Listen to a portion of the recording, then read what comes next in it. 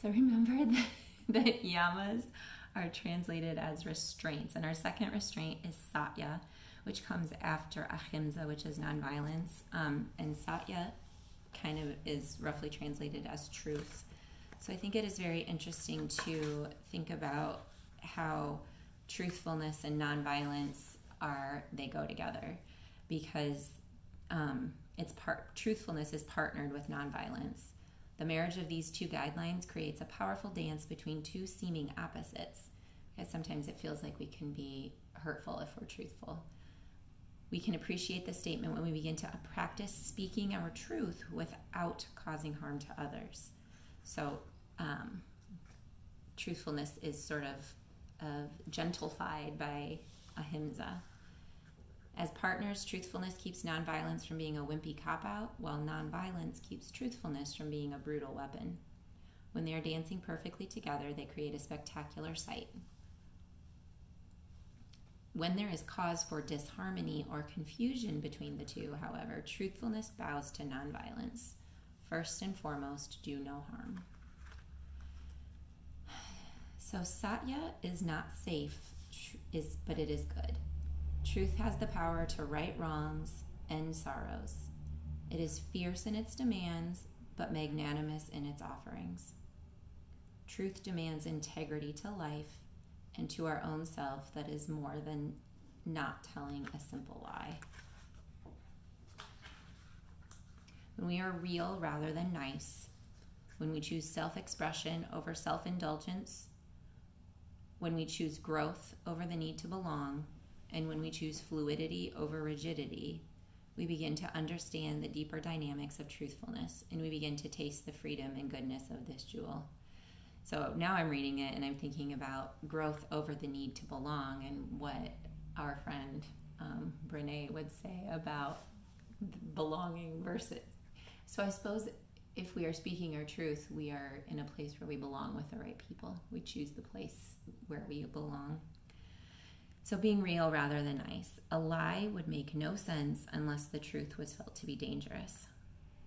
Why do we lie? Are we afraid to hurt someone's feelings? Or afraid if we told the truth we would not be liked or admired anymore?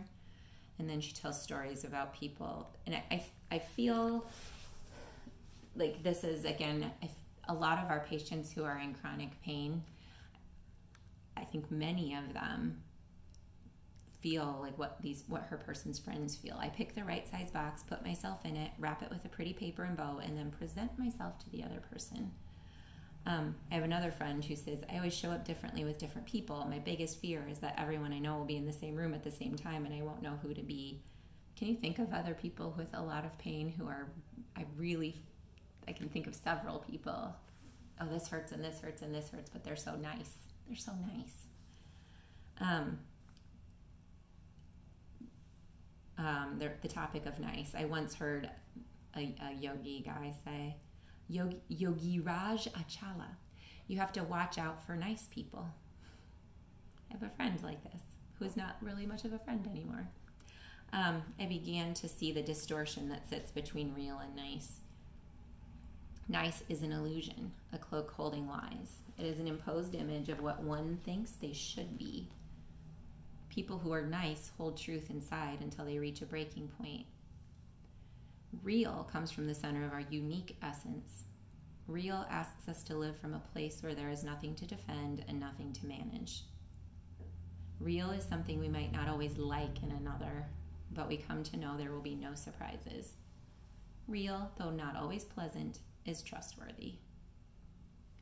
What is driving you to distort yourself or silence yourself or say yes when you mean no?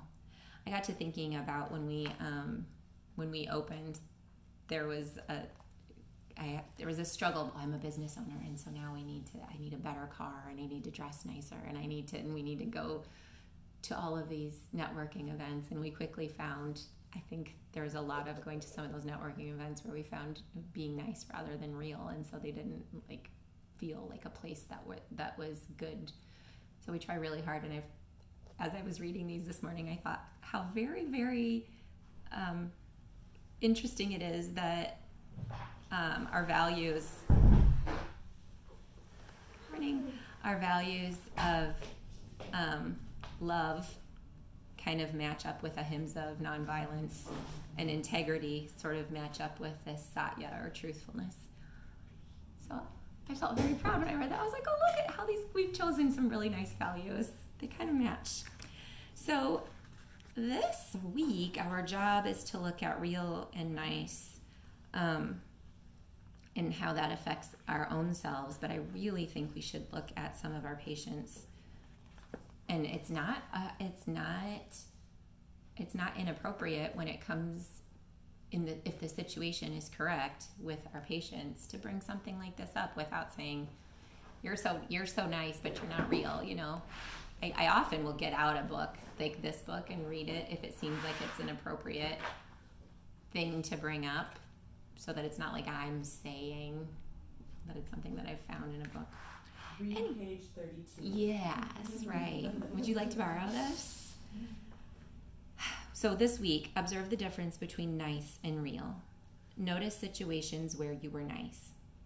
What did this experience invoke in you? What were the results? Notice situations where you were real. What did this experience invoke in you? What were the results? From whom or what do you seek approval? Does this affect whether you act from your niceness or your realness? I think we can be real and nice. so that's that's ahimsa. That's where ahimsa tempers the that. So let